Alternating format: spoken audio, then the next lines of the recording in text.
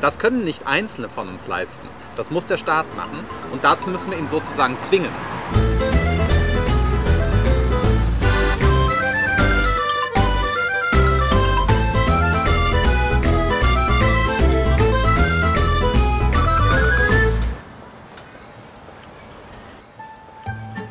Wenn jeder, der ein großes Haus hat oder der eine große Wohnung hat, ein paar Zimmer für Flüchtlinge zur Verfügung stellen würde, wäre damit dem Land geholfen und den Flüchtlingen?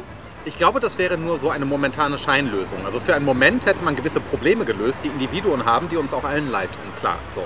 Aber das eigentliche Problem ist ja, dass wir Institutionen schaffen müssen, und zwar unter staatlicher Anleitung, die dafür sorgen, dass diese Menschen vernünftig integriert werden können in ein lebenswürdiges Leben. So. Das können nicht Einzelne von uns leisten. Das muss der Staat machen und dazu müssen wir ihn sozusagen zwingen.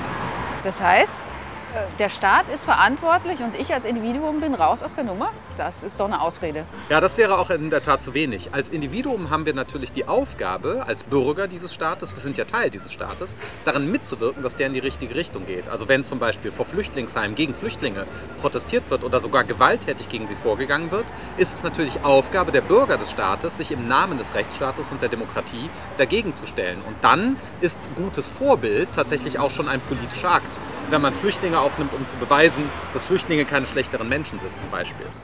Würdest du denn sagen, dass der Staat im Moment in dieser Flüchtlingsfrage versagt? Bis zu einem gewissen Grad schon. Äh, sie ist zu komplex, sie ist politisch gesehen ein Verliererthema, niemand möchte sich so richtig damit beschmutzen und so weiter. Also es besteht dringender Handlungsbedarf.